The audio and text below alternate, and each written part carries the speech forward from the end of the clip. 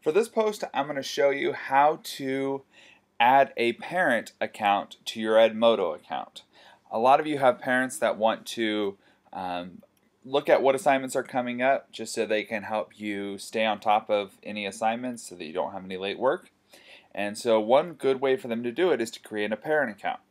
The first thing you'll want to do is scroll down to where it says parent code on the left hand side and you'll either need to write this down or copy it and then you'll sign out of Edmodo. Okay? Then you're going to click down here. See where it says I'm a parent? You will click on that and your parent can create an account. So for example, I will say I am the dad of our fake account I made up.